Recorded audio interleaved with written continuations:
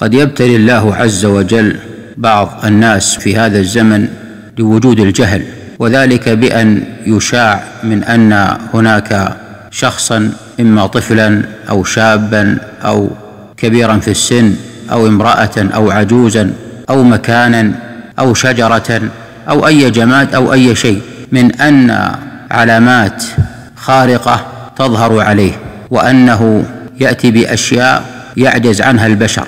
أو أنه يوجد عليه كتابات من آيات قرآنية أو أسماء الله عز وجل أو أحاديث نبوية أو أي شيء من أمور الشرع. فيظن أو يروج أيضا من أن هذا الشخص أو هذا المكان من أن وجوده خير لمن في هذه المنطقة أو لأهل الأرض أو أنه أعجوبة الزمان وأن الناس يفدون إليه إما للتبرك به أو الاستشفاء به أو لأي غرض من الأغراض.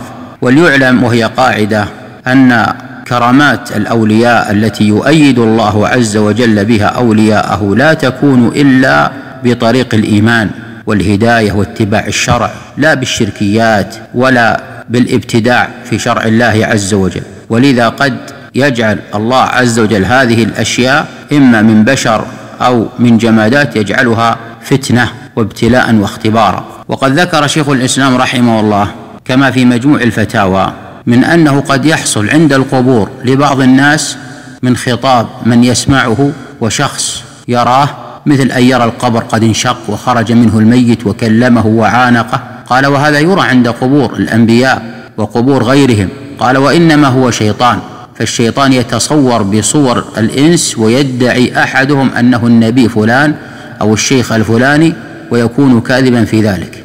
قال وفي هذا الباب من الوقائع ما يضيق هذا الموضع عن ذكره.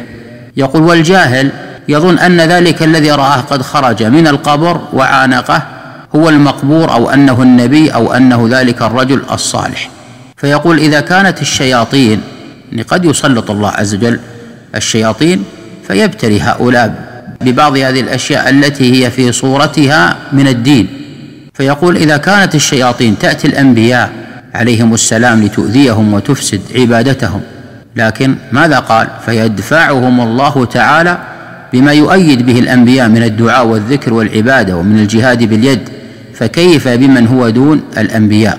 أما من ابتدع دينا لم يشرعه الله عز وجل فترك ما أمر به من عبادة الله واتباع نبيه صلى الله عليه وآله وسلم فإن هذا تتلاعب به الشياطين.